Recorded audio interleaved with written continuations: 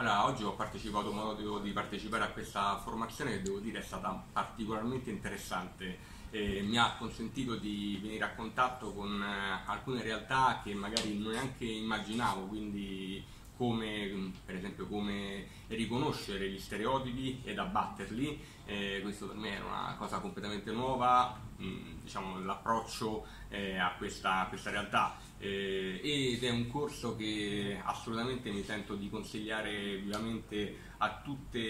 diciamo, le figure professionali eh, in quanto e a tutte le realtà, eh, proprio perché ahimè eh, le molestie nell'ambito sessuale sono sicuramente una realtà e una criticità che deve essere combattuta e dal basso eh, può essere sicuramente un primo passo per dare eh, appunto la, la, mossa finale a questa, a questa situazione.